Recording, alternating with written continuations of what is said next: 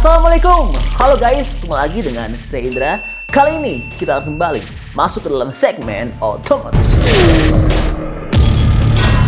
Iya, dengan budget 300 jutaan yang dipergunakan untuk membeli mobil idaman, saat ini tentunya kamu akan dihadapkan oleh banyak opsi. Salah satunya mobil baru jenis SUV berpenggerak roda belakang atau real wheel drive.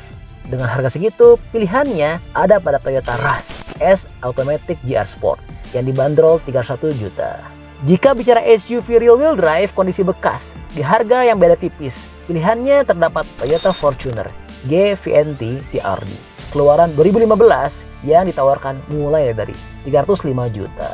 Sama-sama mampu menampung hingga tujuh orang sekaligus. Apakah Toyota Rush baru lebih menjanjikan dari Fortuner bekas? Atau justru sebaliknya, agar nggak bingung, oke kita simak paparan berikut ini ya.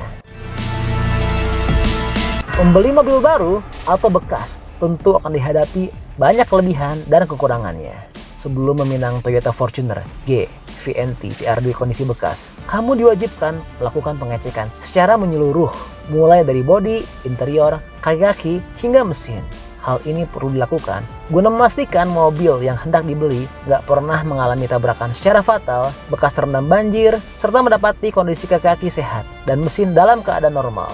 Setelah membeli mobil bekas, jangan lupa untuk melakukan servis ringan seperti mengganti pelumas atau cairan lainnya untuk menjaga keawetan serta performa mesin.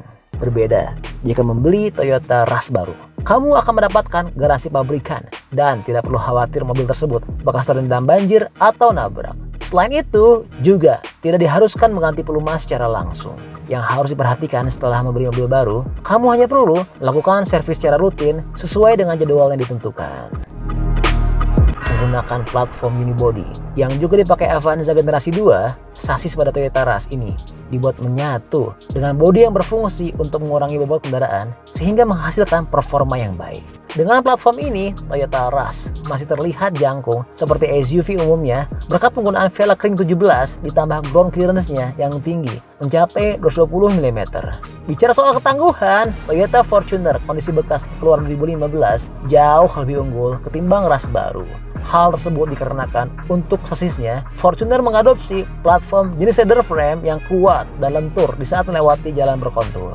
Menggunakan velg ring 17 untuk ground clearance-nya, mobil ini juga lebih tinggi ketimbang Rush, yang mana menurut spesifikasi berada di angka 221 mm, sehingga lebih cocok digunakan melintasi segala medan.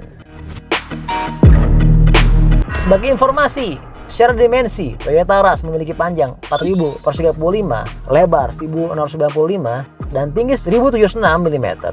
Sedangkan Fortuner generasi 1 facelift mempunyai panjang 4705, lebar 1810, serta tinggi 1840 mm dengan dimensi yang lebih lebar. Tentunya Fortuner mampu memuat barang dengan jumlah lebih dan terasa nyaman.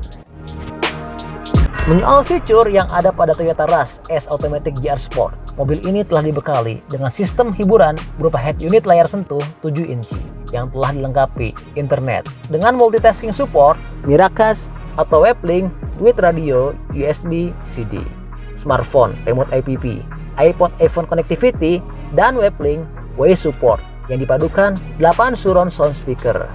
Fitur lainnya pada mobil ini, kamu bisa menjumpai adanya auto retractable yang bekerja secara otomatis saat menekan tombol buka dan kunci pada remote. Driver, seat height adjuster, start stop button, audio, and phone hands-free steering switch, dan auto AC with digital display.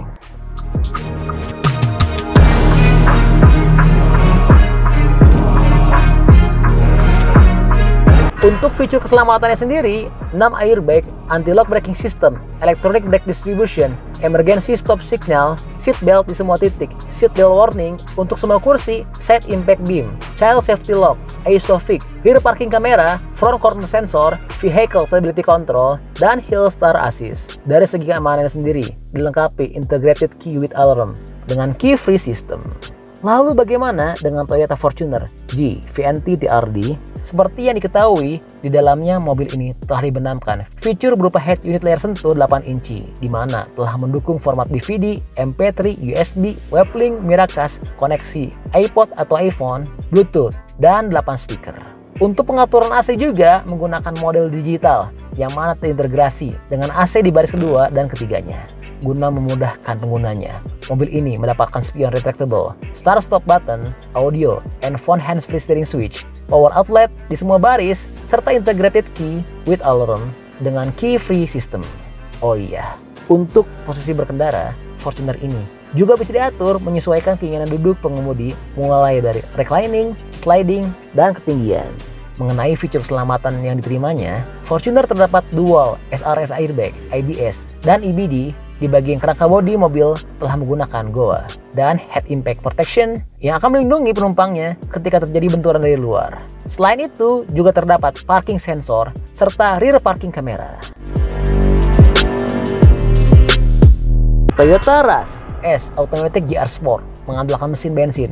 2 NRVE 4 silinder inline 16 volt. DOHC Dual VVTi 1496 cc Secara spesifikasi, jantung pacunya yang tersematkan mampu merilis tenaga hingga 104 PS di 6000 rpm dengan torsi maksimal 136 Nm di 4200 rpm. Untuk membuatnya dapat berjalan, varian ini mengandalkan transmisi otomatis 4 percepatan. Sedangkan di bawahnya terdapat pilihan transmisi manual 5 percepatan. Bicara Toyota Fortuner G VNT TRD, Mobil ini menggunakan mesin diesel berkodekan 2KD FTV 2.5 liter D4D Common Rail with VN Turbo atau VNT and intercooler berkapasitas 2500 cc. Untuk tenaga yang dihasilkan berada di angka 144 PS di 3400 rpm dengan torsi maksimum sebesar 347 Nm di 1600 hingga 2800 rpm.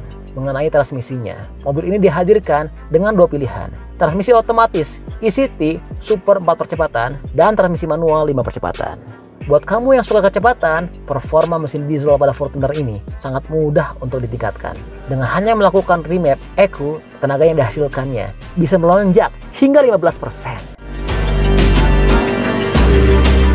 Dengan budget yang sama, untuk sebuah mobil SUV berkapasitas 7 penumpang, kamu bisa memilih Toyota Rush S Automatic GR Sport baru jika tidak ingin repot melakukan perbaikan serta khawatir mobil bekas nabrak atau terendam banjir. Tapi, apabila kamu menginginkan sebuah SUV yang maco, tangguh, dan bertenaga, Toyota Fortuner G VNT TRD produksi tahun 2015 bisa menjadi pilihan tepat saat ini.